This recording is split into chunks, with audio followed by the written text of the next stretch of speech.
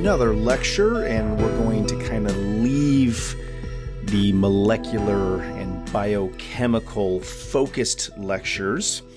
And we're going to start moving into metabolism, which is a very, very important uh, topic for us, especially uh, being sports scientists, being exercise physiologists. Uh, we have to understand bioenergetics and how energy is made uh, within the cellular environment in order to basically produce energy. And the energy that we are trying to produce um, with uh, athletes or people who are exercising is, of course, I'm just readjusting this, is, of course, ATP, right? So that is the energy currency of almost every reaction in the cell. So ATP, uh, much like a savings account, we want to put in as much uh, ATP pools. And what I mean by pools is just areas in the body where we can store ATP. We want to put as much uh, ATP in those pools as we can.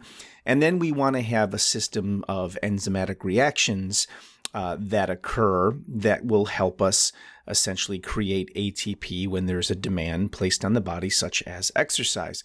So the the basically the final goal of metabolism, which is what we're talking now, is to essentially create energy from a foodstuff, and foodstuff is what we eat, right?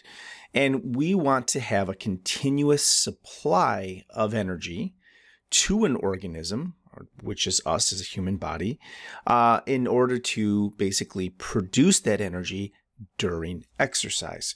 So let's uh, look at the next slide here. And I'm just basically going to show you guys where this information is coming from. This is from the uh, biochemistry for medical students. This is going to have two parts. We're going to do an introduction to metabolism, which is what I'm talking about now. That's on page 83, chapter 8, and then the chemistry of carbohydrates, which is page 60, uh, chapter 6 in the exact same book.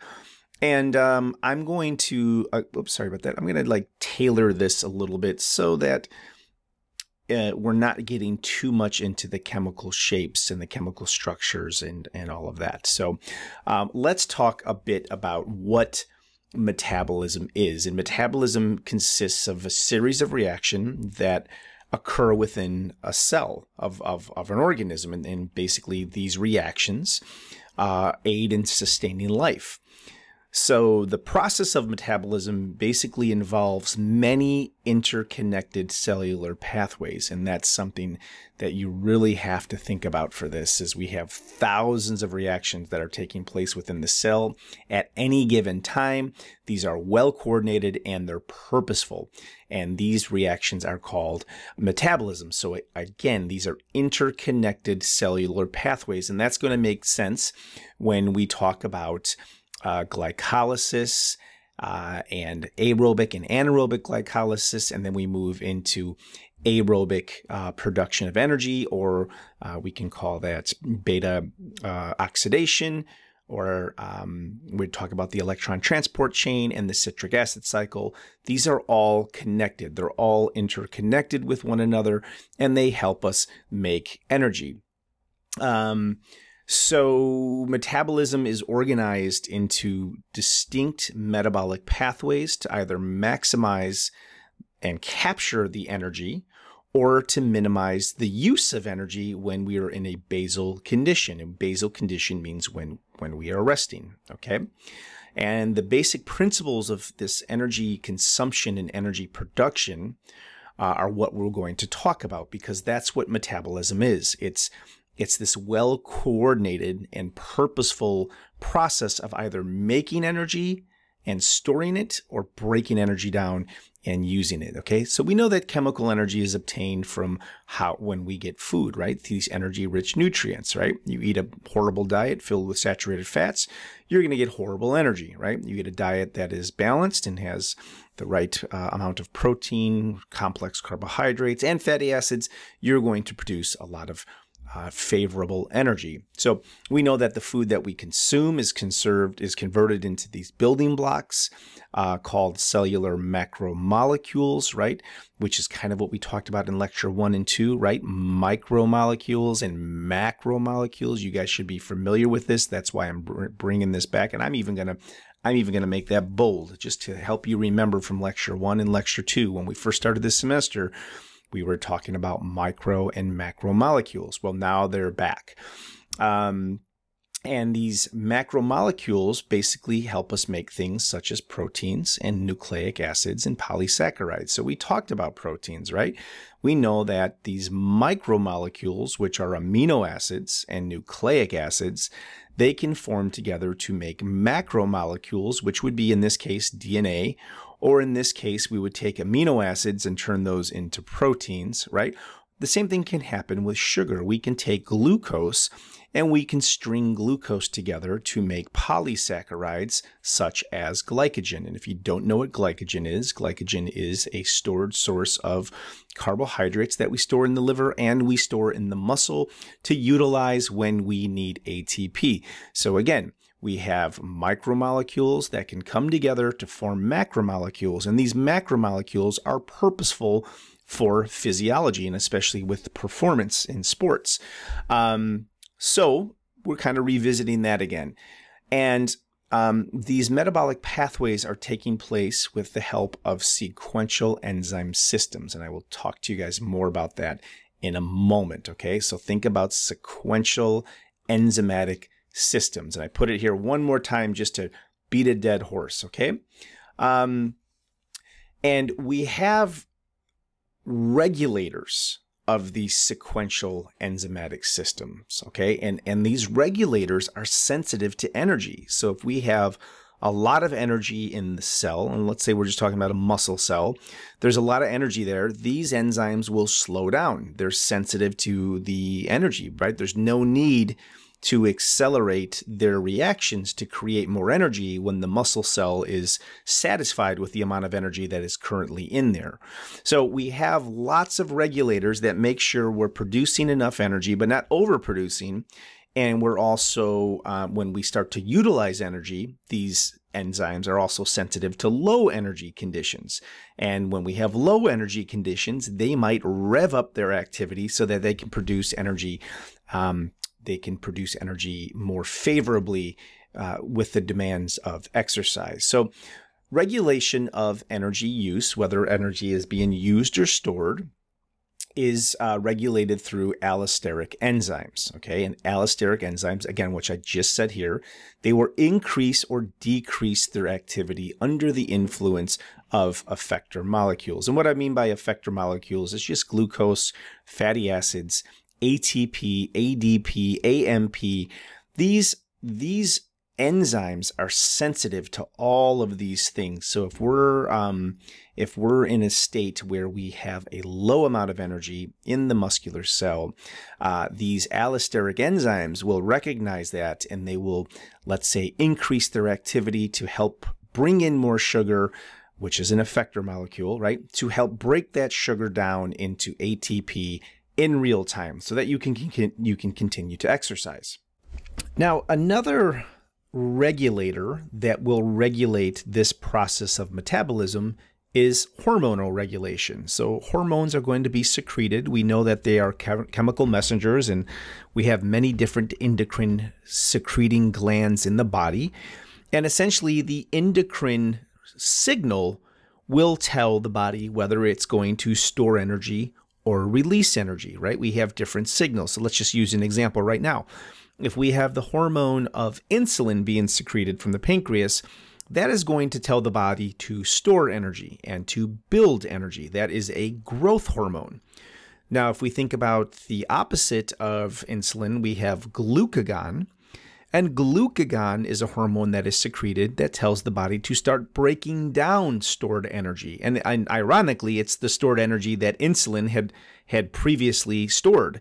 So we have hormonal regulation as well. We have enzymes that will either help build or break down energy. And then we also have DNA regulation, which means that the concentration of these enzymes and the concentration of these hormones can be altered specifically with exercise where we produce more of them. We can have a higher concentration of them, and that is something that we uh, will establish when we are exercising chronically, right? That's what allows you to exercise. If you're if you're somebody that's exercising with friends and you can outlast them in in time that you're in the gym, or you can run farther or faster than them, and you are quote in better shape in quotes, well, that means that all of these things are regulating your use of energy better than your friend is regulating their use of energy. So. Um, so now what we're going to do is we're going to talk about three basic types of metabolic pathways. And these are things that you've probably seen before, but we're going to discuss them anyways to be thorough. We're going to talk about catabolic reactions, anabolic reactions, and amphibolic reactions. Okay. Catabolic means to break down. This is a degradation pathway, right? So if we have ATP and ATP is being used, uh, we need that energy to exercise. Well, that ATP will be broken down into ADP, right? So adenosine diphosphate. And if we're still exercising very intensely, well, then that ADP will get broken down into AMP, which is adenosine monophosphate. And that's what happens in a catabolic reaction. And these catabolic reactions are regulated through use of enzymes and use of hormones. That's what tells the body to break things down. Now, on the other side, we have an anabolic reaction, and this is a biosynthesis pathway. This is telling us to build. This is where energy, uh, potential energy, is packed and stored.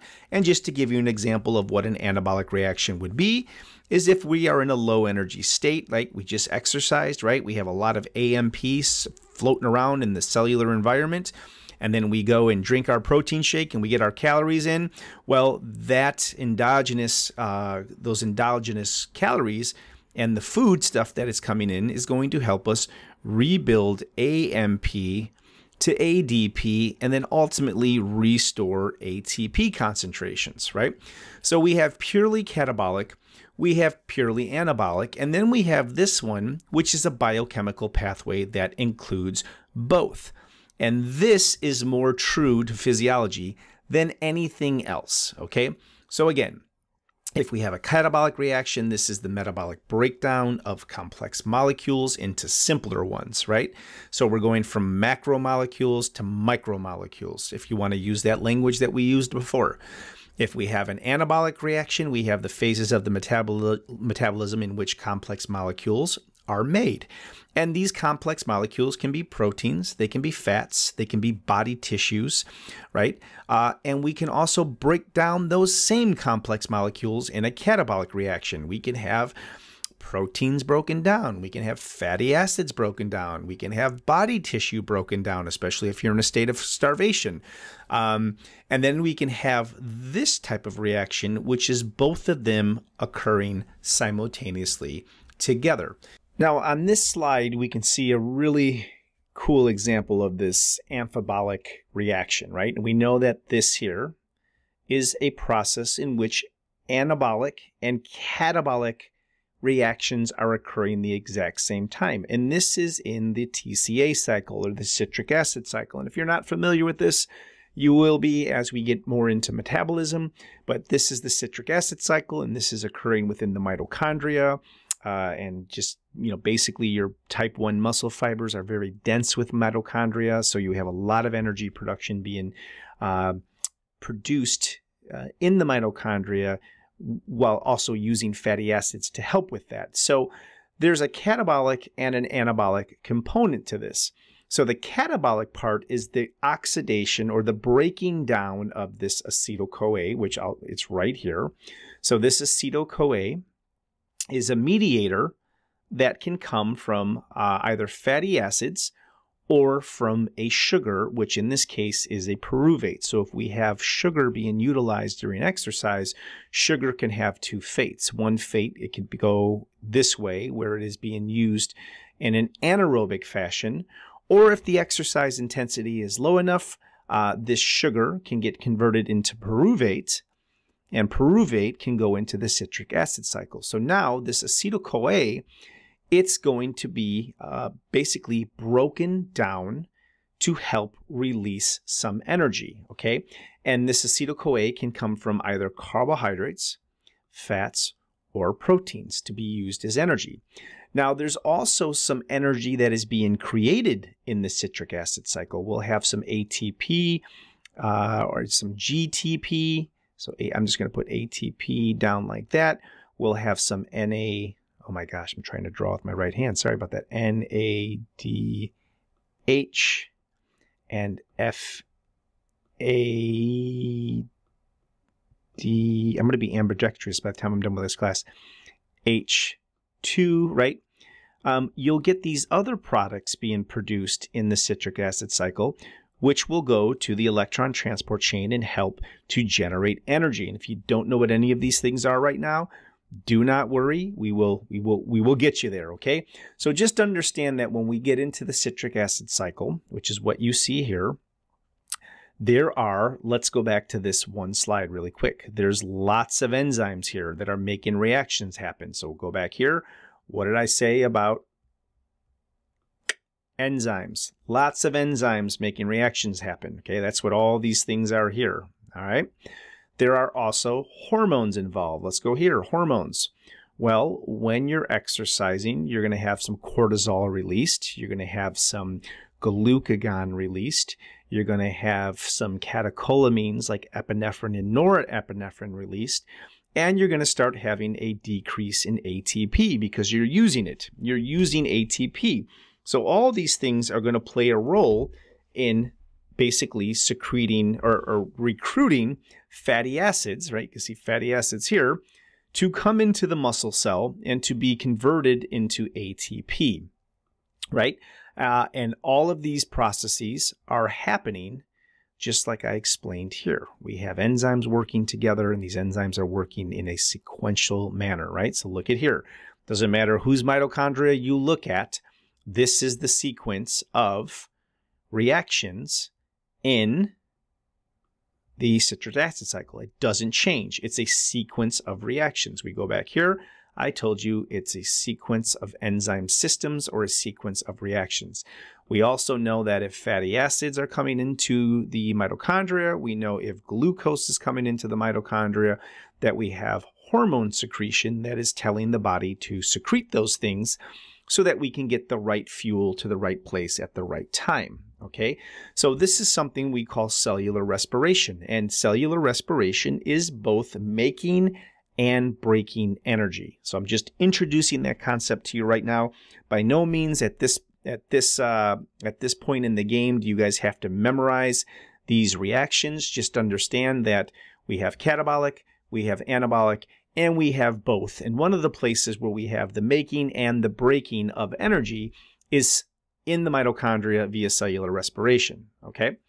Um, and that is all I have to say about that. So let's move on to the basics of the degradation of breaking down food stuff that we bring in from the body because this is what drives metabolism. So when we talk about eating food, we're talking about masticating, right? We're, we're chewing food and that food is masticated and it's and it basically is combined with chemical and mechanical properties that will help break down the food both in the mouth and in the gut and we'll use a variety of different enzymes to do this we'll use enzymes we'll use acids we'll use mechanical energy all to break down this stuff right here right so if we were to have this piece of bread right here and we let me draw a mouth we put it in our mouth, right? It's wide open. And let's just say because it's Halloween or we're kind of close to Halloween, this guy has fangs and he is a vampire who likes bread. Okay. Um, he takes a piece of bread and he puts it in his mouth. And if that vampire was not to chew that bread at all, there would be enzymes in the mouth that would start breaking down the bread, and we call that enzyme amylase. And basically, amylase attacks simple sugars. So if this were white bread, the amylase would work faster, and that amylase would be broken down into kind of like a, a porridge in your mouth, right? The amylase would break down the bread. Uh, we would also use our teeth to help break down that bread, and then we would swallow the bread, and the bread would move through the esophagus through a process called peristalsis. Um, and then it would move into the lower esophageal sphincter and go into the gut, where inside of the gut we would have mechanical churning. If it were protein, if we put the protein in there and we put the cheese in there, we would have the release of pepsin and pepsinogen, which would help break apart all of those uh, bonds. Uh, so if we bring in a piece of steak, we know that steak is a protein. So a steak is going to have all these amino acids, right? I'm just drawing these amino acids all folded together into complex proteins. Well, we have um, we have enzymes in our stomach called pepsin that will break all of those bonds. And also, what else do we have in our stomach? We have acid, right? And I told you, oops, sorry, I'm trying to erase this. I told you in the last slides that we were talking about is that protein is sensitive to acid. And if we have acid, protein will go back into its what? Its primary structure, right? So now we're bringing that back into it. And our primary structure is linear, right? So if we have acids that are going to denature the protein and make that protein linear, and then we have these enzymes called pepsin, they will break down those bonds, and then we will have amino acids in the stomach rather than this big protein, right? So I'm just trying to tie all these things together for you guys. Um, and breaking down this food is going to be a combination of those chemicals, of those acids, and of those enzymes, and of mechanical churning. They're all going to break those things down because we have to absorb these nutrients into the small intestines in a very specific type of way. Um, so, we will have primary metabolism, which is where the GI tract converts these macromolecules. Again, what is a macromolecule? It is that big complex protein, right? If we brought in steak, steak is a whole bunch of complex proteins in tertiary and quaternary structures just kind of bound together, right? So if this is that steak protein, we want to convert that macromolecule into smaller units, which would be the amino acids, right? And we do that through chewing, we do that through pepsin, we do that through pepsinogen, and we do that through the acid because the pH in your gut is a pH of 2 or 3, which is highly acidic, which means this complex protein is going to be linear because that acidity will break all the bonds that holds the protein in this structure, right? Then we have secondary or intermediate metabolism, sorry. And this is where the products are absorbed and they're broken down to smaller components as well. And ultimately, these will be oxidized into CO2. And we will also have some reducing equivalents called NADH or FADH. So what happens is when we get glucose or protein or fatty acids and we consume it and we break it down and we deliver it into the blood, well, then those basic components can be used to produce other sources of energy, which are these guys here. And I just drew that for you on the last slide over here. I was telling you about FADH and NADH. So I'm just introducing these concepts to you right now. So don't don't get overwhelmed, okay? This would be, let's just think of it as our primary metabolism is what happens when food comes into the mouth, goes into the gut, and gets broken down. Our secondary metabolism, well, this is the metabolism of these products, but on a cellular level, which means they're going to give us more energy after we consume them and put them in our body. And that energy is going to come in the form of ATP and these NADH and FADH, and we'll, we'll talk about that. And then we have this tertiary metabolism where these products here will move into the mitochondria and in the electron chain, they will produce more ATP, right? I'm not going to draw that because it's looking pretty bad on my right hand right now. Okay, so we have this primary metabolism, which is whole foods. Whole foods being consumed and broken down into these constituents here, which could be amino acids or glucose molecules or fatty acids. And then those fatty acids, those glucose molecules, or those amino acids will get broken down further into these um, molecules here, which are electron carriers, and we'll talk about these more in detail. For right now, I just need you to say, okay, NADH and FADH, it's a currency. It's a type of currency that I can spend in the electron transport chain to help create more energy, okay? So we have primary, secondary, and we have tertiary metabolism. And if we had a microscope, we would just be zooming in, zooming in, zooming in, right? This would be the steak. Zoom in. That will give us amino acids. If we metabolize uh, more amino acids or more sugars, we'll zoom in again and we'll get these electron carriers, right? And these electron carriers, if we zoom in again, these will go into the mitochondria and they'll interact with the electron transport chain and they will give us ultimately more energy. All right, that's the takeaway there. Let me clean this up so you guys don't have that on your slide and then we will move on. So let's put this together um, just in case it was a bit confusing on the last slide. So again, we're going to look at this. Let's just right now look at primary and secondary metabolism, okay? And let's really focus on these products here, right? NADH and FADH. Now, these two things are called electron carriers or reducing equivalents. So I want you to write down in, that in your notes. These are either noted as electron carriers or reducing equivalents. So I hope you wrote that down. Okay, so let's look at, let's say we are going to eat some grapes and some bread. Okay, so we have these polymers, right? We have, if we have grapes, we have these very complex food stuff that are made up of amino acids and carbohydrates, right? and we want to get them into the body. So that means we have to break down these complex structures and let them into the body through the small intestines. And, and that takes up a bit of energy to do that, right? So what happens is we break down the grapes and we start to utilize our, our teeth, we start to utilize enzymes to help break down the sugars. And what happens is we get these glucose molecules that will get into the small intestines and they will cross the small intestines. Follow my follow my little dots here, and they will get into the bloodstream.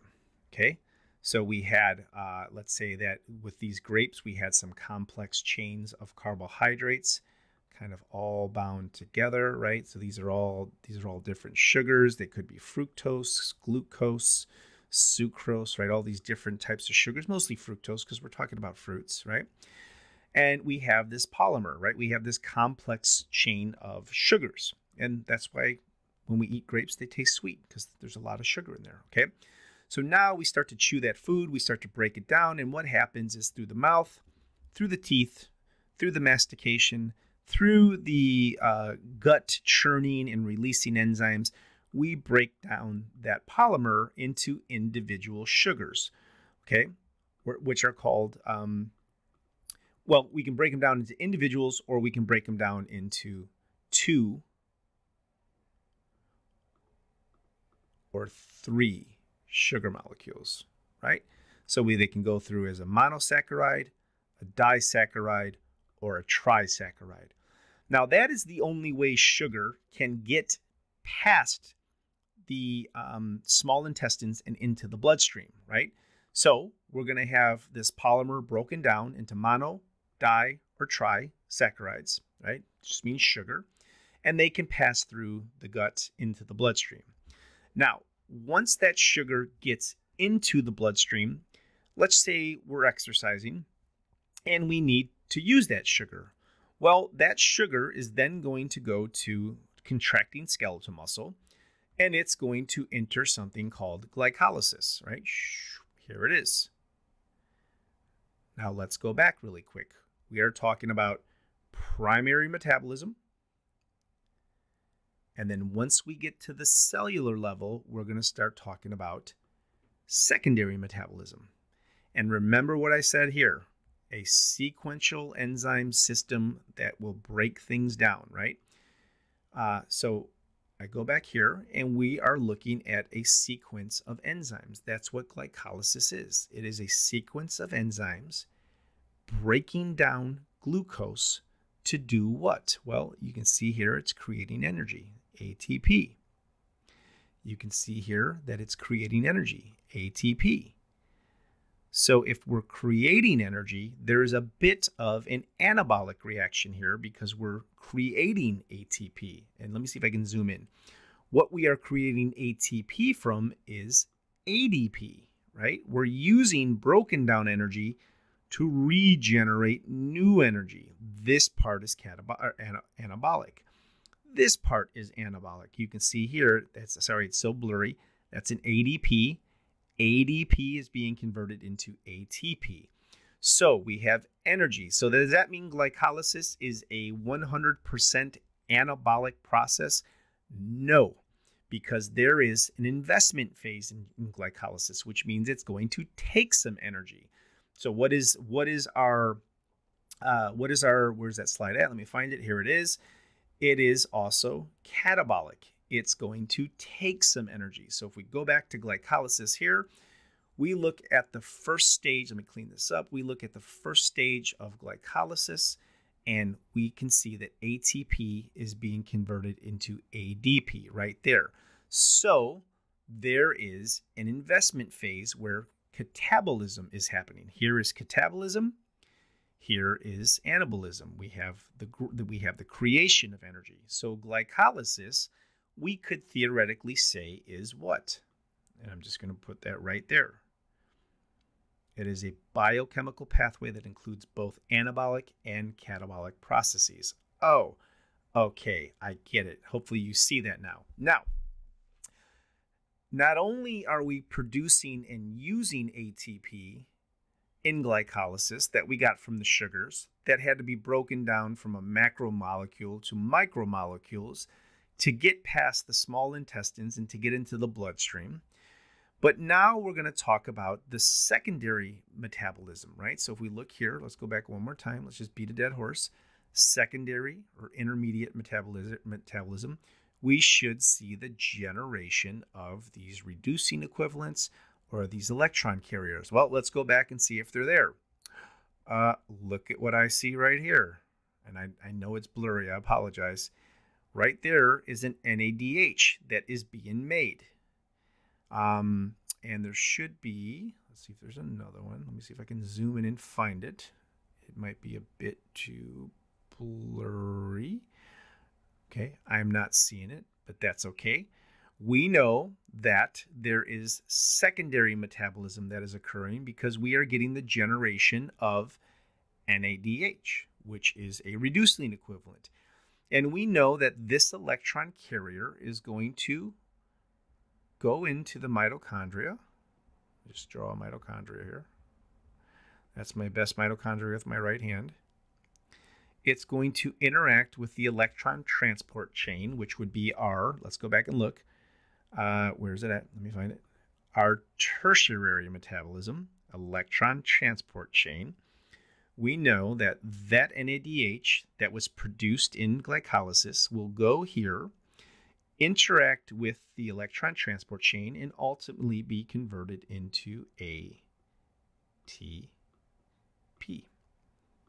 All right, so we have primary, secondary, secondary, tertiary. Okay, I hope that makes sense. And if you need to see what NADH does, we can look here. Here we have the electron transport chain as noted there, and look at what came into the mitochondria to supply energy. And I told you there's also FADH and there's FADH as well. So that would be our tertiary metabolism. And look at what is being produced. Where is it at? Let me find right there. ADP is being turned into ATP with the assistance of this electron carrier and this electron carrier, or this reducing equivalent, or this reducing equivalent. And where do these come from? They came from metabolic pathways that had sequential enzyme systems, such as glycolysis and the uh, TCA cycle, right? The citric acid cycle. So I'm just introducing these to you guys now. And if you guys want, I can I can draw a picture that puts all this together. But right now I'm just introducing some concepts to you so you have a foundation, you have a basis to further talk about these things. Okay, so when we're talking about metabolism, we're talking about basically bioenergetics. We bring in food, right? food has to be broken down so it can get into the small intestines. Once it's in the small intestines, it will go into the bloodstream. That bloodstream will carry it to different organs. It could be the liver, could be fat cells, could be skeletal muscle, could be could be neurons that require glucose, could be any system in the body. But once that once that compound, once that molecule gets there, that energy producing molecule, it's going to have to go through a sequence of enzymatic reactions to get broken down into ATP or generate these electron carriers, which are NADH or FADH2. So let's transition now to what the energy requirements are uh, at rest uh, during exercise, and then what energy looks like when we're in a fed and we're in a fasted state. So, first, let's talk about some of the major differences between bioenergetics at rest and during exercise. So, we know that ATP is the most important molecule to sustain life with, within the body, right? Um, it is referred to as this molecular unit of currency because it basically powers every metabolic process that we have in our body. So most ATP is produced in the mitochondria through a series of reactions, and these reactions are known as the citric acid cycle or the Krebs cycle and the electron transport chain. Okay, so let's go back to what we talked about before. We have anabolic and catabolic reactions that are occurring and they are ultimately producing ATP. And I'm going to just draw it right here. Now, if you don't know what this system of um, proteins and enzymes are here, this is the citric acid cycle, and it's got a lot of different enzymes. And these enzymes are going to be sequential in how they basically produce energy. And if you look to the right here, let me clean this up. If you look here, just like what we saw within glycolysis, we see the formation of these secondary or intermediate molecules that are part of secondary metabolism, right? So you can see here we have secondary metabolism. We have NADH2 being formed. Now, this is in the citric acid cycle. And again, most of our ATP is created here, specifically at rest. So, energy production mostly takes place on the folds of on the inside of the, the, the membrane of the mitochondria.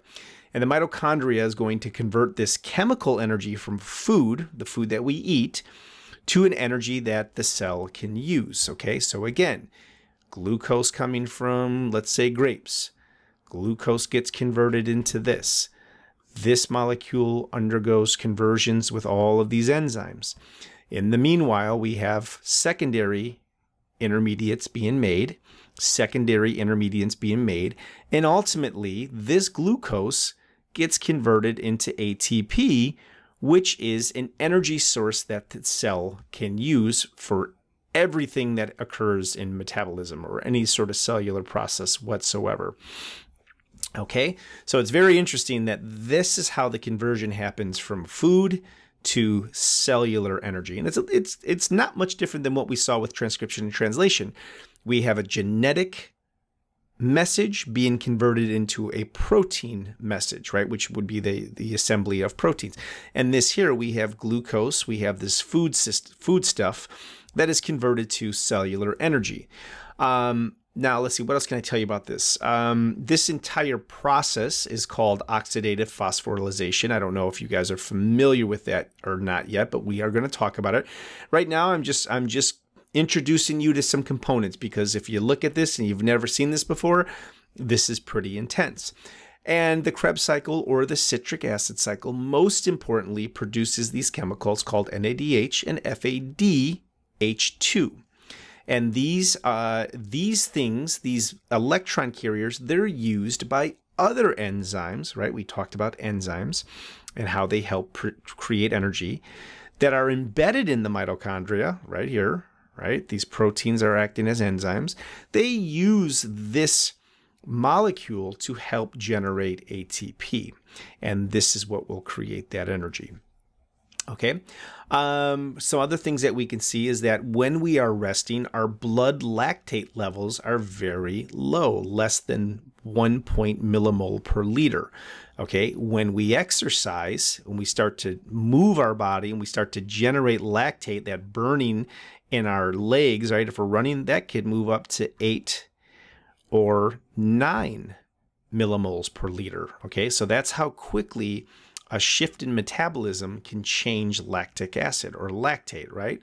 And when we're generally resting, we're consuming about 3.5 milliliters of oxygen per kilogram of body weight per minute. And when we exercise, that's going to skyrocket as well.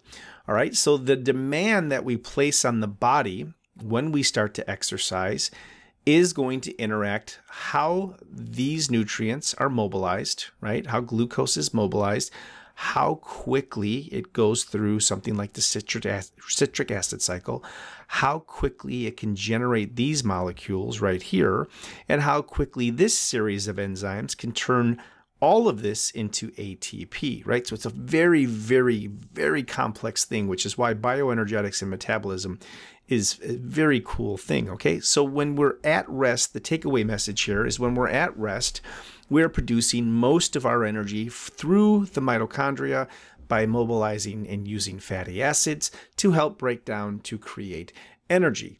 Now, what we when we move into exercise, a couple of really cool things kind of happen here. Everything shifts, okay? When we transition into exercise, there is a change in energy needs and energy demands, okay? So the metabolism is completely going to change itself to create more ATP and to get more of that energy readily available. So, high intensity exercise can result in a 1,000 fold increase in the rate of ATP demand. All right. So, that is a very, very robust response. And it depends on how intensely, intensely you are exercising. If you're doing high intensity HIIT training, this could be even more. If you're just doing, uh, you know, maybe a three mile run at a very slow pace, and it's it's um, continuous exercise, it might be a little less, but there is a surge in demand of ATP, which means that all of these mechanisms that I'm showing you here and here, and let's go back here, here have to do their job faster in order to keep you within uh, that exercise regiment or, or that exercise that you're doing at the moment. Okay. So ATP production will increase immediately. So what happens is we'll shift away from this mitochondria ATP production and we'll start using other systems that are more readily available and might give us energy a little quicker. Oxygen uptake increases rapidly as well. So we, we within one to four minutes of exercise, we will reach a new steady state of oxygen, right? Um, and that is going to be very different than the 3.5 milliliters that we consume at rest, right? I showed you that here. So we are going to reach a new steady state of oxygen. At rest, this is our steady state. But when we exercise, there's a greater demand. Therefore, that's going to rise. Um, and then after steady state is reached, ATP requirement is met through aerobic ATP production. Okay. So this is where exercise metabolism gets a little tricky. So if we are exercising aerobically, and let's say we're going to do a five mile run, we have about one to four minutes. If you guys are out of shape, it's going to be four minutes. If you guys are in great shape, it might be closer to one minute, but you have that time frame in where ATP has to come from a different source than where it's coming from during rest. And this is where we get into other energy systems. And we will talk about these energy systems in a little bit. I'm just introducing the concepts to you, okay? So, and then once a steady state is reached, and it means that we are consuming as much oxygen as we're going to consume for that intensity of exercise, then we will go back to aerobic ATP production, and the mitochondrial will produce more of uh, the ATP. So, what happens when we're doing high intensity training and we don't really get into that aerobic zone and we're not really using the mitochondria as much as we could be? Well, then we have to rely on ATP coming from other sources. And one of those sources could be, let's just kind of go back to this, glycolysis. We know that glycolysis is producing ATP. So we could get some of that energy just by bringing sugar into the cell and, metabolize, and metabolizing that for energy there. So that's just giving you one example. Um, the initial ATP production is going to be done through something called the ATP PC system, okay? And then we're going to move to glycolysis. Um, and I'm going to draw these uh, these pathways for you in a moment here because some of you guys may not have seen this. Some of you guys might have seen this a thousand times, but now we're just piecing together what's happening in the cell with the demand of energy. And then oxygen deficit basically means that when we are doing this exercise here, and there's one to four minutes before the mitochondria truly starts producing energy after we start exercising. We call this an oxygen deficit, which means there's a lag in oxygen uptake at the beginning of exercise, and we have to pay for ATP through other systems. And one of those systems might be glycolysis. The other system might be the ATP phosphocreatine system. If you don't know what this is, I'm going to draw it for you and it'll all make sense. Okay. So we go from a system of rest where we're metabolizing mostly fatty acids to produce ATP in the mitochondria oxidatively. When we begin to exercise, we leave that oxidative state and we have to basically rely on other systems such as glycolysis and ATP until this lag in oxygen uptake catches up. And then we can start to use oxygen once more. And on the last slide here, before I go into the drawing, we're, we're still talking about the transition from exercise, from rest to exercise. Um, and some important things to know is that to sustain muscle contraction, the ATP needs ATP needs to be regenerated at the rate complementary to ATP demand.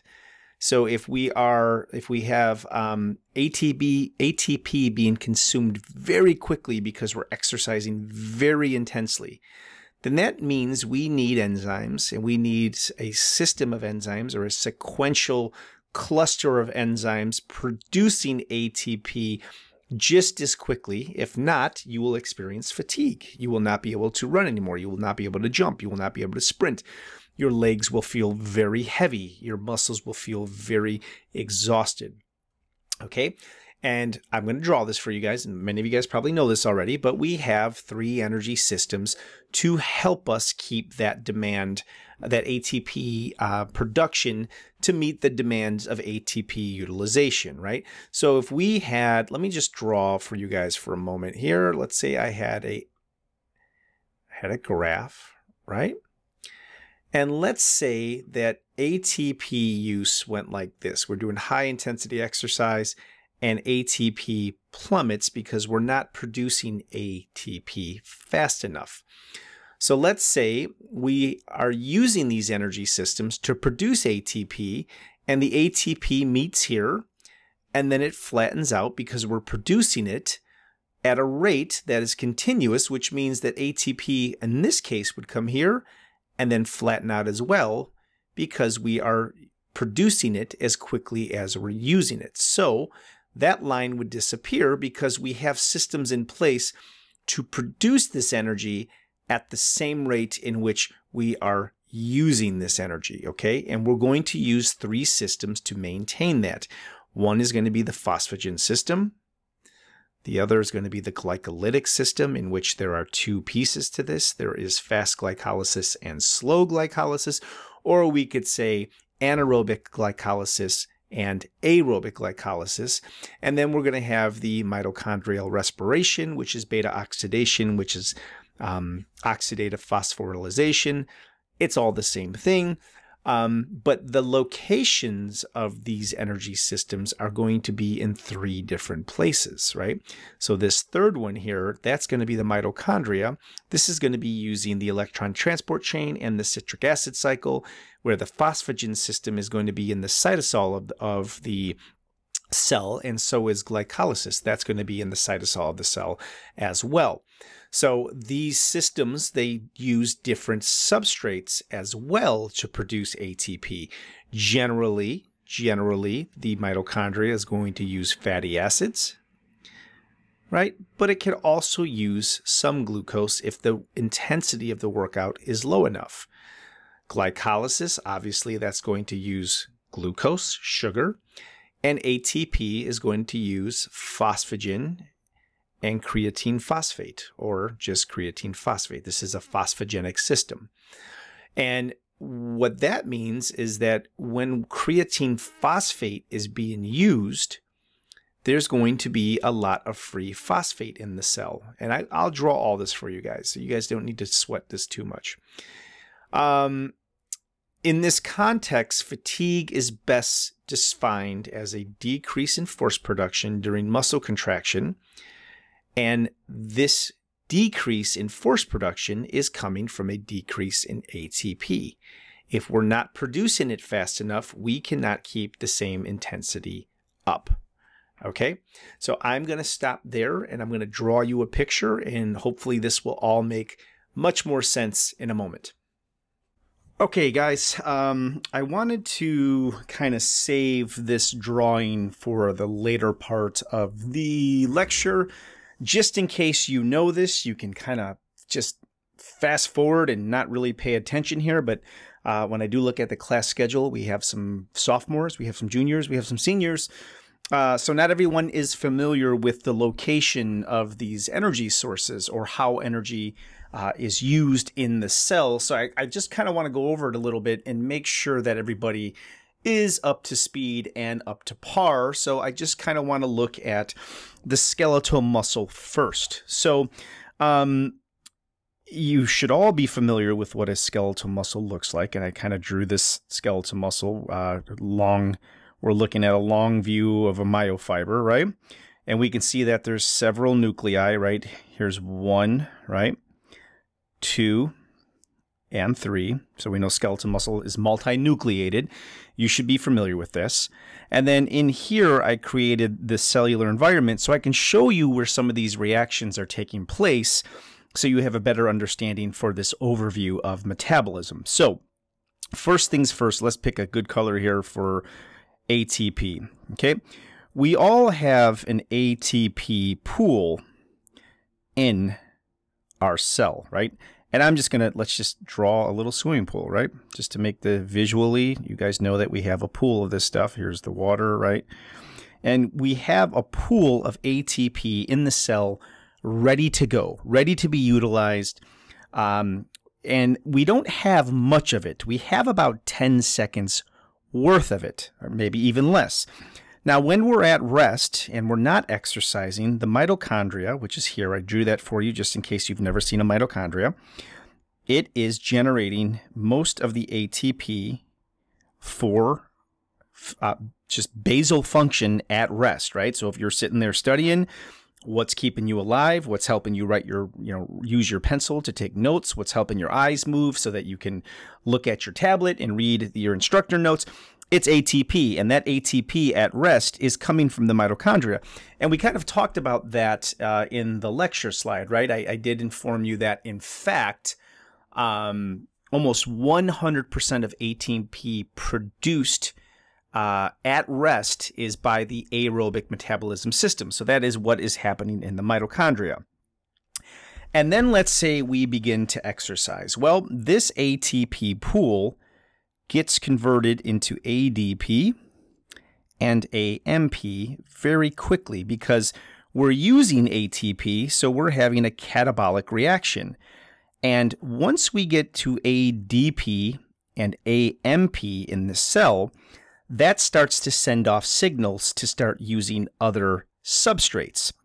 Well, one of those substrates that we're going to use is glycolysis. We're going to use sugar. Now, also inside of the muscle cell, we have a polymer storage of sugar, right?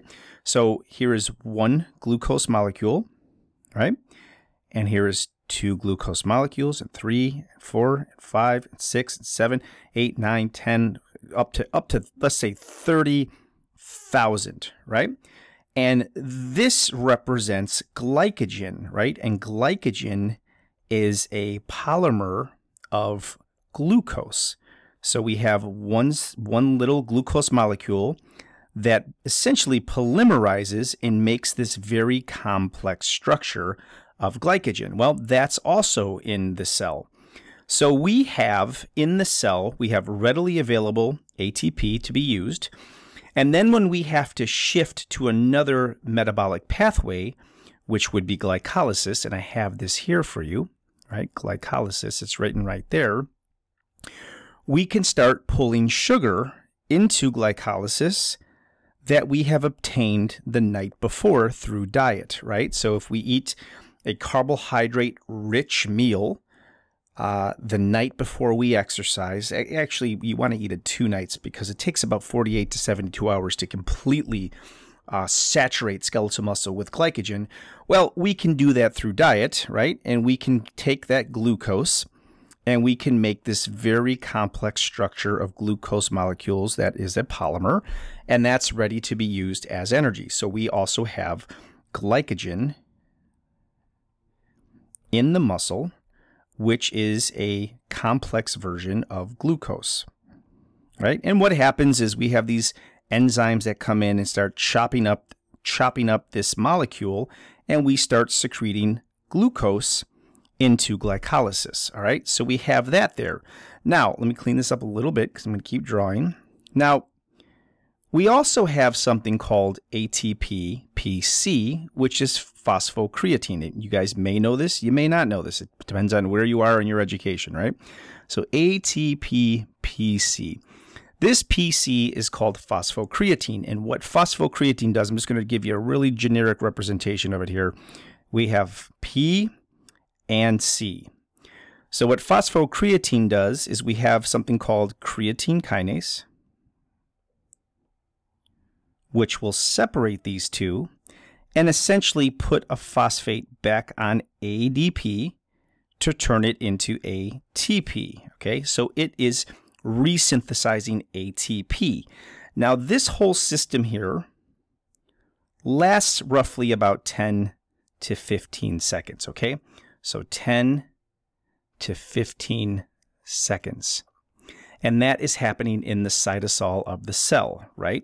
So this this mechanism here, this ATP-PC, it helps take ADP and turn it back into ATP. So it's helping resynthesize ATP for a very short amount of time.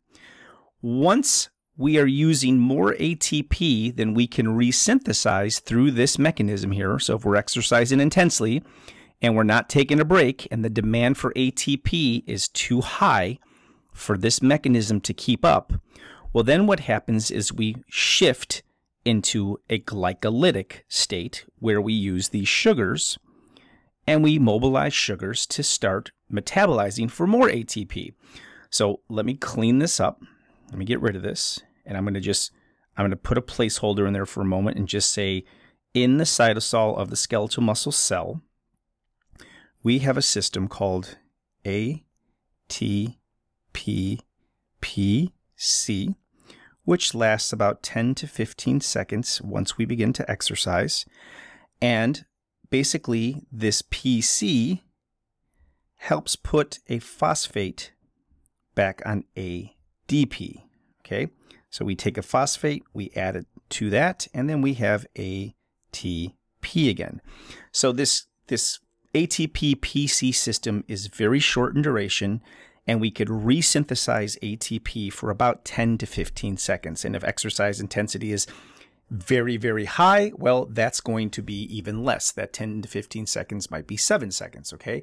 So it truly, truly depends on um, it truly depends on intensity. Now, let me clean this side up. Okay.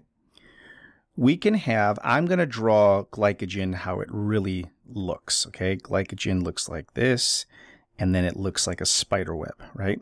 And that spider web is all the glycogen or the glucose polymer chains that are tied together with certain types of bonds very similar to nucleic acids, which we've talked about. And once exercise moves into, let's say, 15 to 30 seconds, we start to send these glucose molecules into glycolysis. And what is glycolysis? Well, if you look back to your slides, we talked about this quite a bit. Glycolysis is a sequential enzyme system that is going to start generating ATP. Okay? Now, we have two types of glycolysis. We have fast glycolysis and we have slow glycolysis.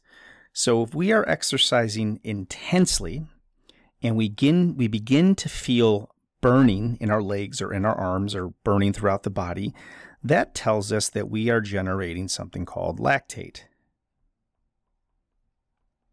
And not only lactate, but also hydrogen. And the hydrogen, this is what's causing the burning. Okay. But when we feel that burning, we know that the energy that we are generating is basically anaerobic. And anaerobic is fast burning glycolysis. Okay. So we're not even using oxygen yet. How do we know we're not using oxygen? Because look at, I'm not even in the mitochondria. The mitochondria is using oxygen. All of these reactions are occurring in the cytosol of the cell. They're not even happening in the mitochondria. So if we have that burning, well, then we know that the, the glycolysis and the glucose that we're metabolizing in the cytosol is starting to generate lactate and hydrogen. Sorry, let me fix this. And we know that that is happening in the cytosol of the cell as well, okay? So we have two reactions in the cytosol right now. We have the ATP-PC right there, and we have fast glycolysis, and that's happening. Now, let's say we slow down our intensity and we're not running very fast anymore. Let's say we start to slow the intensity down.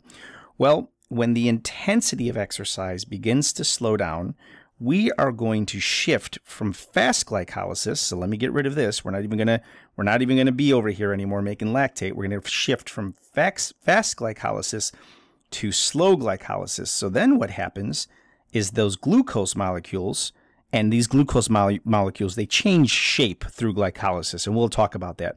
Essentially, what happens is they turn into something called pyruvate.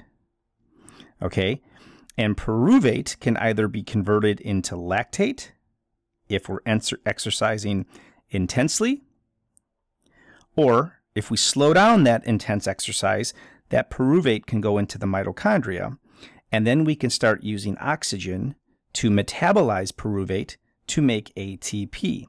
So what that process is, is something called slow glycolysis. All right, so glucose can either be metabolized anaerobically, where it turns into lactate, or aerobically, where it enters the mitochondria, right? Now, if we look at the mitochondria and we zoom in, that's what this window is here, right? It's zooming in. We can see that that pyruvate will enter the mitochondria and it will enter something called the citric acid cycle, which I've already talked about with you guys. And in the citric acid cycle, we'll start making some of that NADH, and we'll start making some of that FADH2,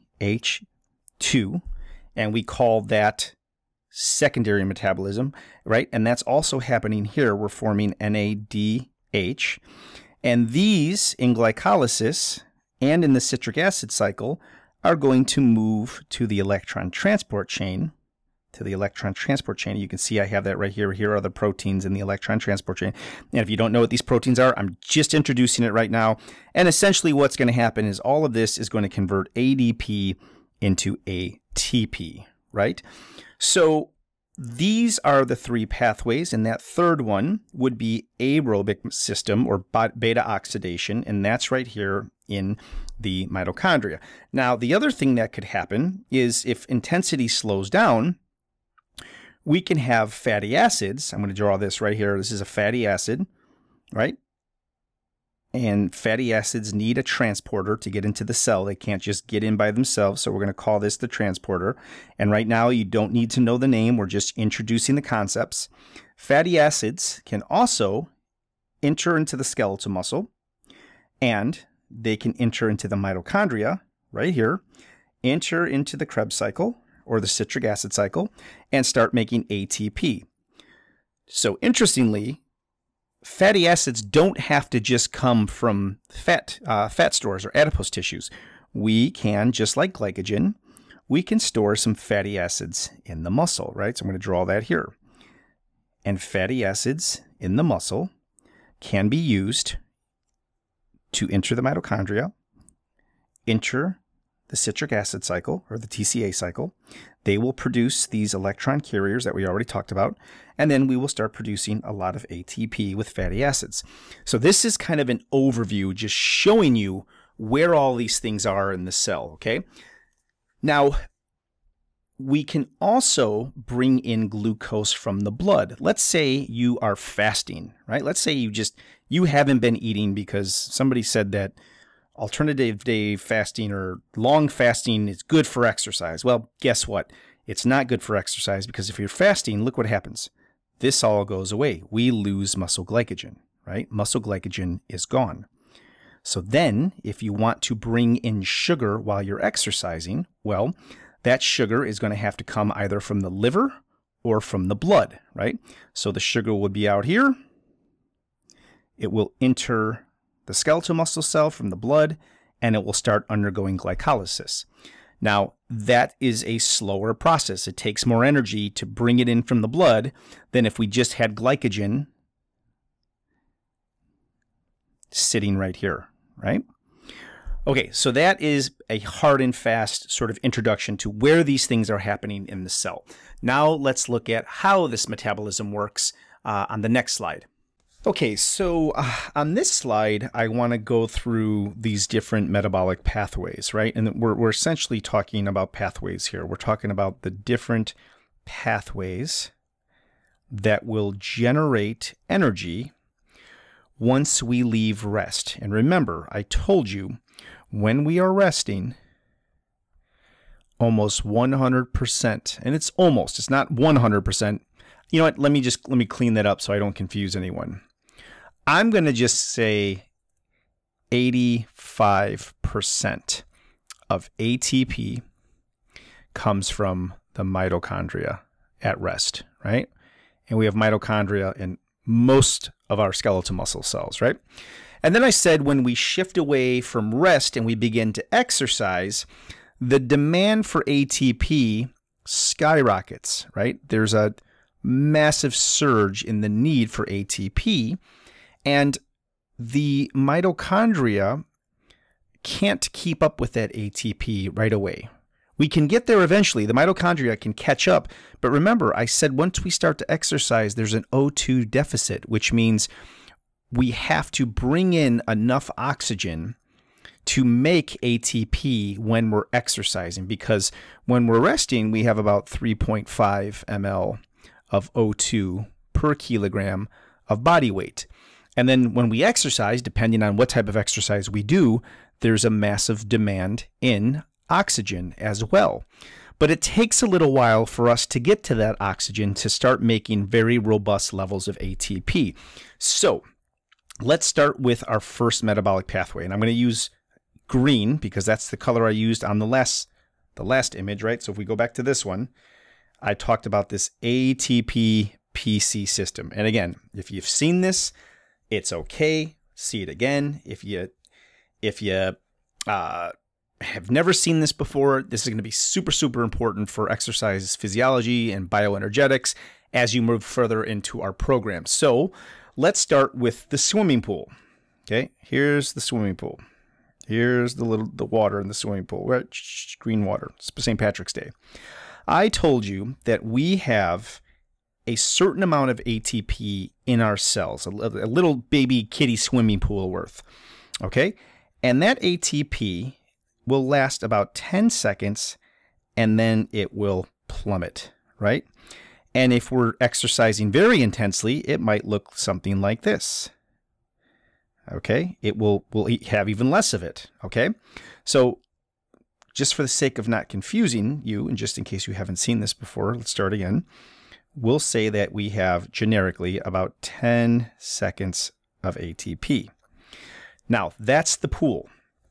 I also told you we have this system called ATPPC. And this is some this is a molecule called phosphocreatine, creatine, creatine and phosphate. And this molecule is willing to give up a phosphate to help turn ADP, which is low energy, into ATP. And it uses a enzyme called creatine kinase, right? creatine kinase, I'm just going to put CK, makes this reaction happen. So what creatine kinase does with the phosphocreatine system is once we get here, okay, that means that there is a lot of ADP and a lot of AMP floating around in the cell. And whenever we have ADP, which is adenosine diphosphate, or adenosine monophosphate, what those two molecules mean is low energy in the cell. And when there's low energy in the cell, we have to wake up the PC system to come and help us. So the PC system will start, it will activate, it will raise, look at this, ATP levels high, and then it will crash because we only have a few seconds of ATP-PC. And basically those two systems combined will give us generically about 15 seconds worth of energy, okay? And that is all anaerobic. There's no oxygen. Um, and the reason this ATP level rises again is because this system is putting all of those phosphates back onto ADP to make ATP. Okay, so let me clean this up because I'm going to draw some more stuff on here, okay? Clean this up.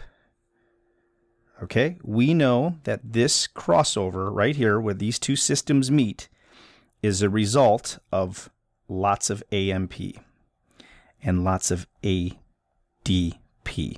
Now, if you don't know what AMP and ADP are, let me just quickly draw that for you so you have a better idea and I would assume if you're sophomores, you've you've come across this, but let me just be as thorough as I can and make sure we're doing everything we can do to make you guys understand this.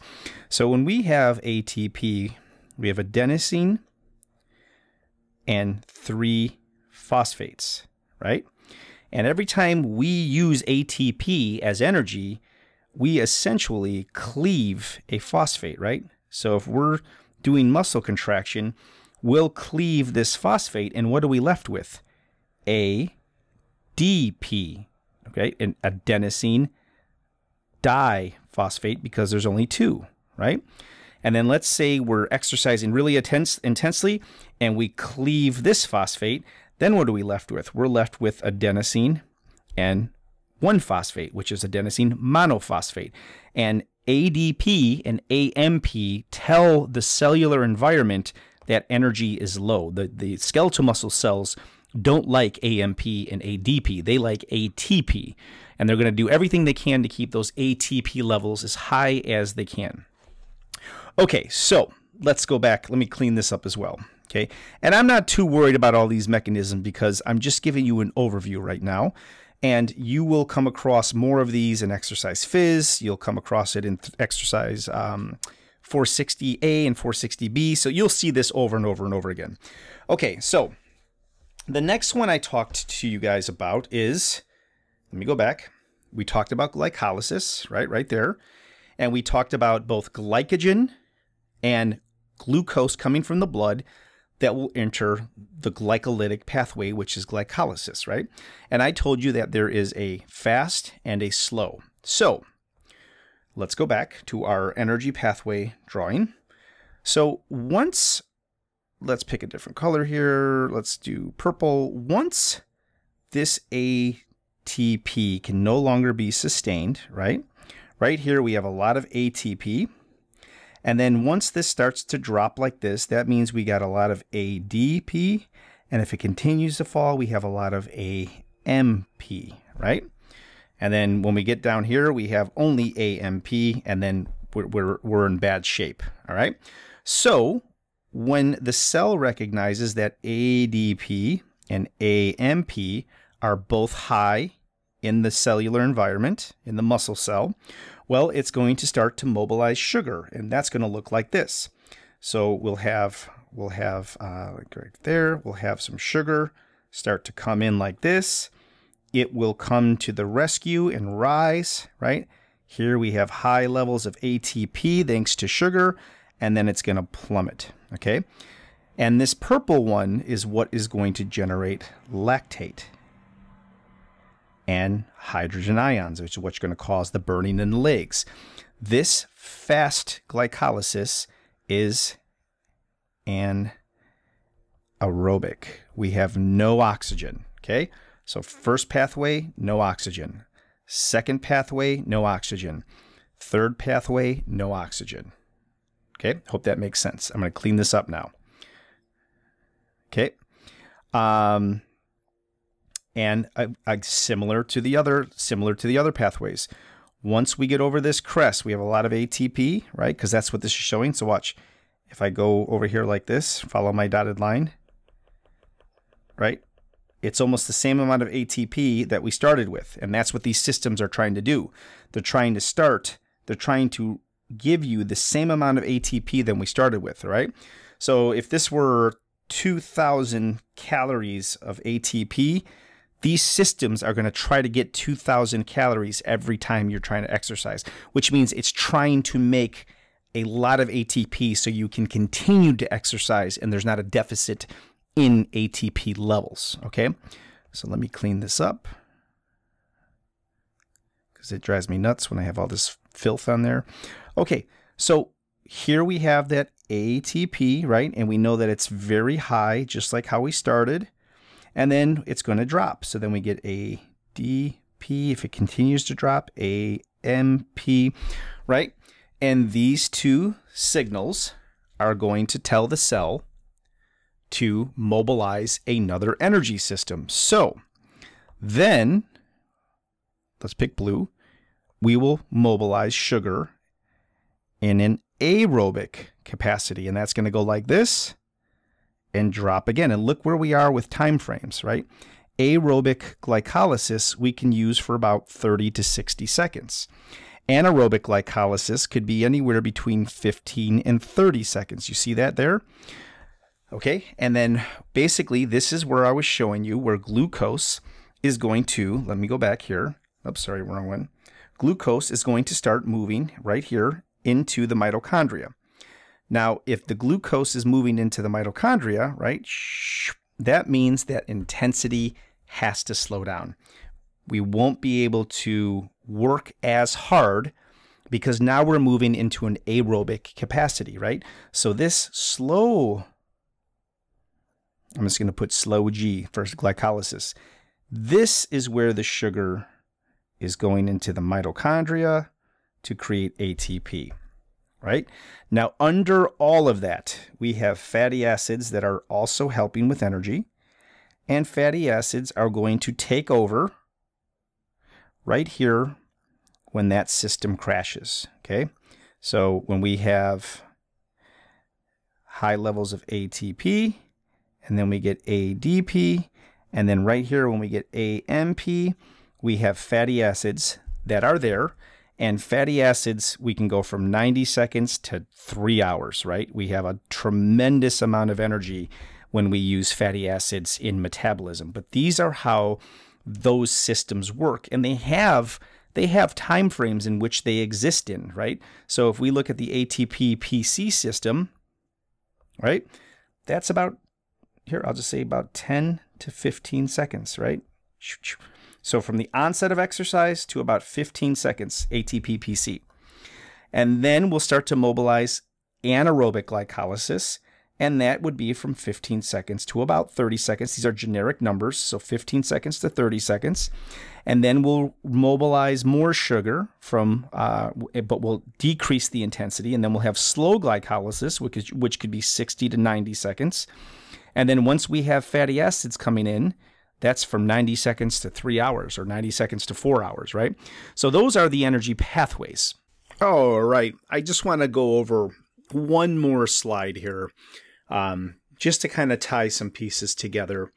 Um, so when I had mentioned, when I was talking about this picture here, and we were talking about where these energy systems exist, well, I wanted to demonstrate that the liver, okay, is a major hub for holding glycogen.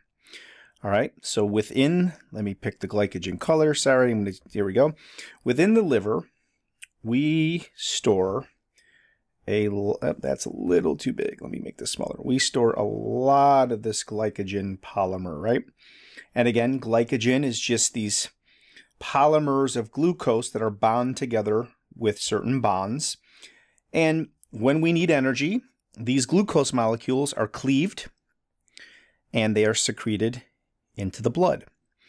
Okay, and then they get into the blood. Let me draw a picture of, uh, oh my goodness, that's not what I wanted. Let me go back. Here we go. It's just a hot mess over here. um, so let me draw a picture of, uh, come on, gets into the blood. All right, so here's the bloodstream. Right, glucose will get in and it will be delivered to whatever tissue needs it, right? And generally, that tissue could be skeletal muscle.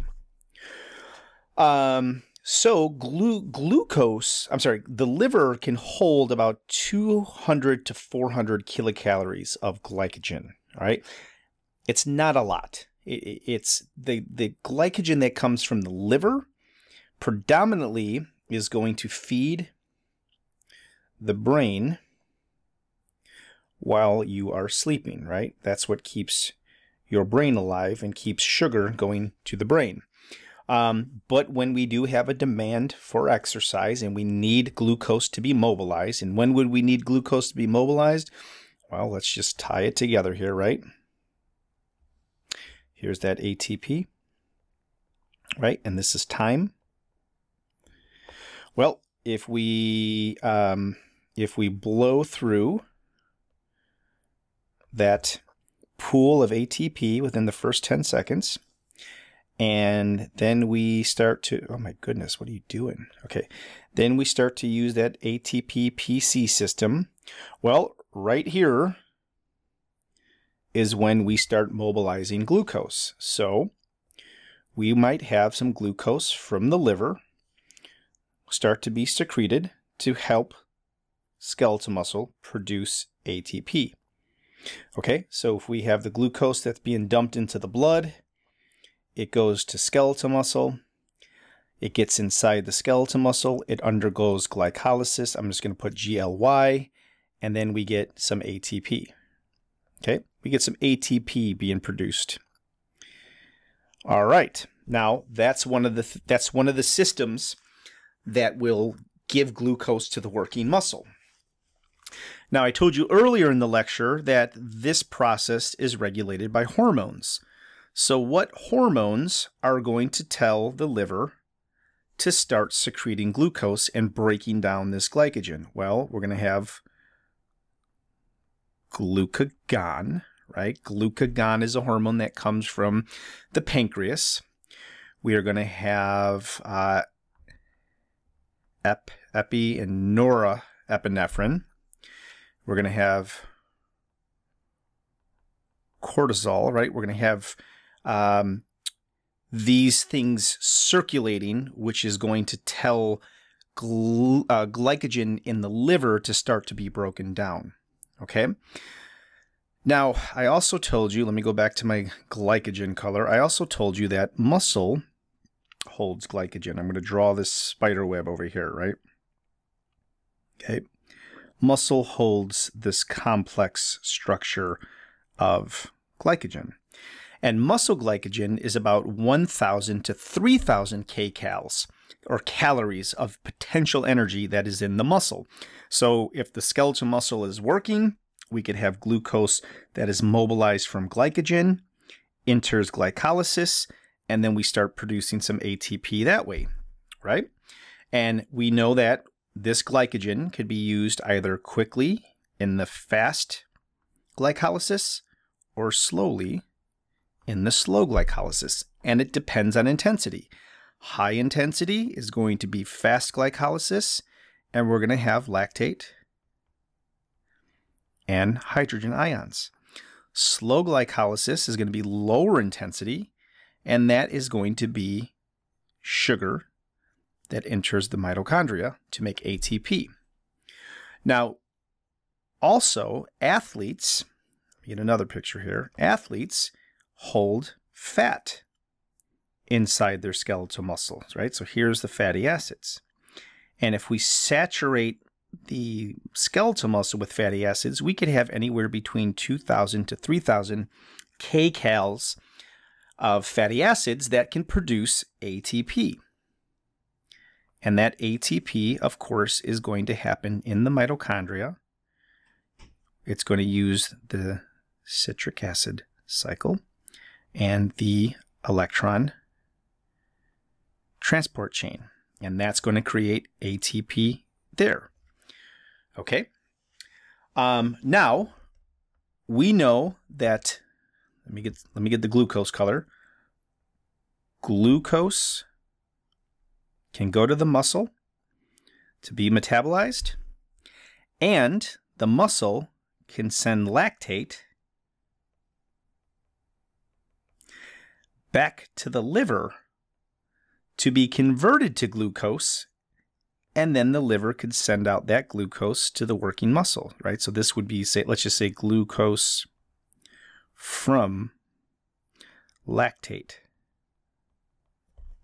Okay, does that make sense?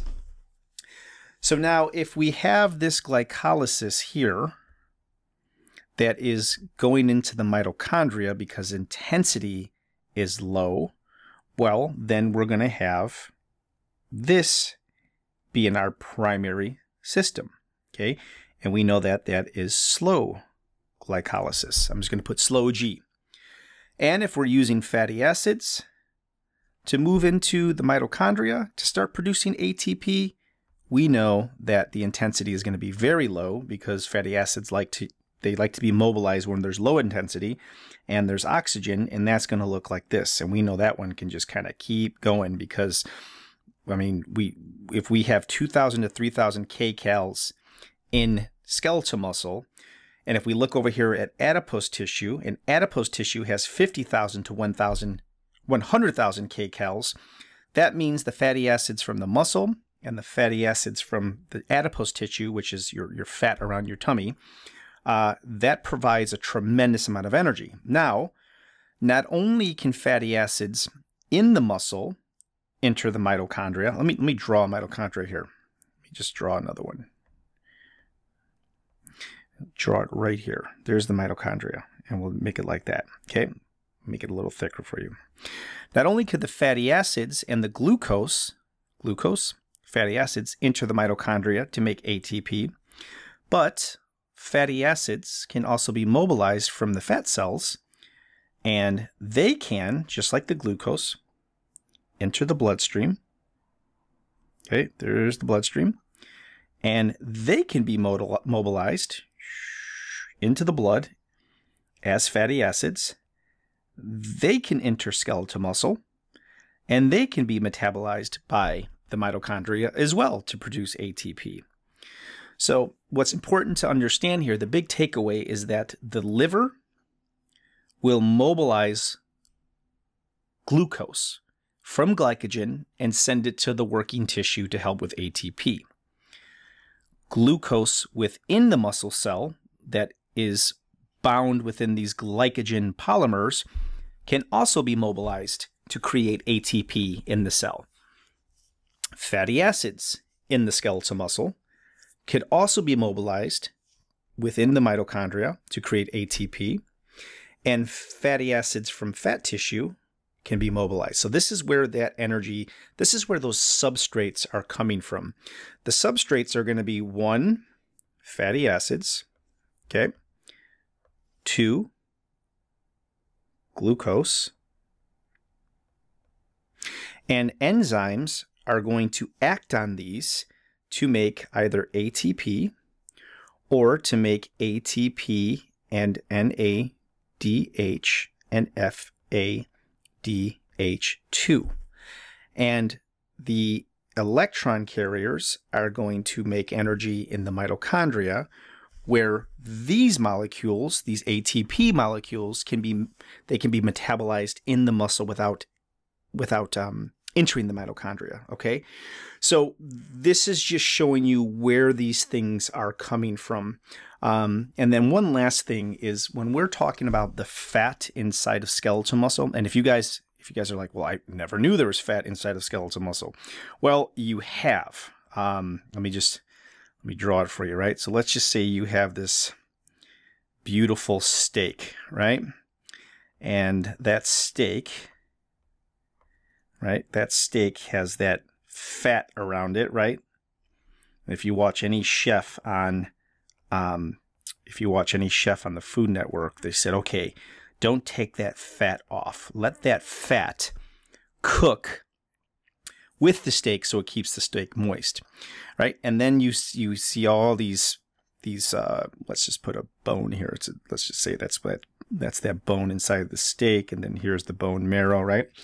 Um, well, you guys uh, that eat steak, you pay a premium on something called marbling, right? So when you eat a steak, um, you have this marbling in there, right? And the more marbling you have, the more expensive the steak is because you're like, oh, look at all that, look at all that fat inside of the steak. Look at all that marbling. Well, that marbling is something called IMT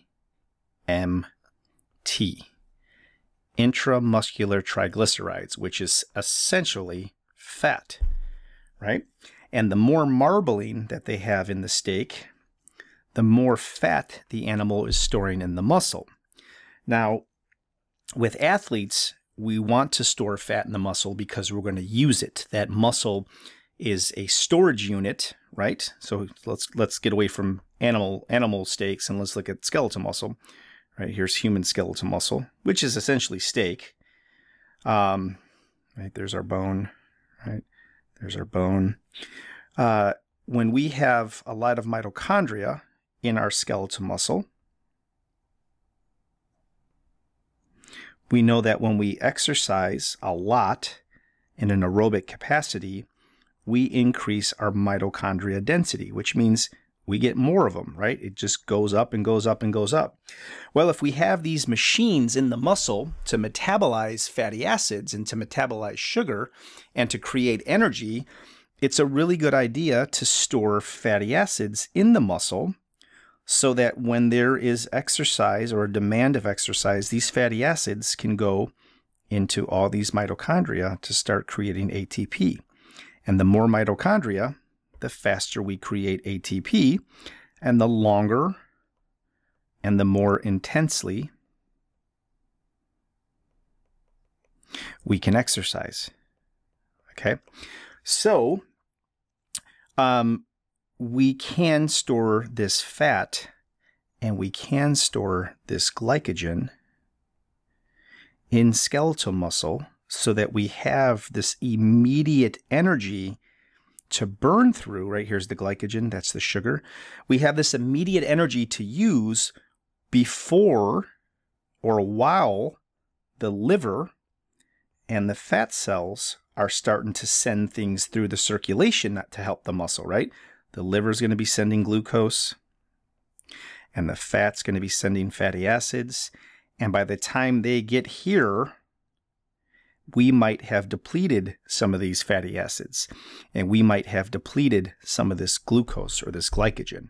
So we want to be able to store some of these macronutrients, these polymers uh, in our skeletal muscle so that we have immediate energy to create ATP while we're waiting for the cavalry to show up and provide us with more energy. All right, so that's all I have for you guys right now. I will upload another video very soon. Take care and make sure you take wonderful notes.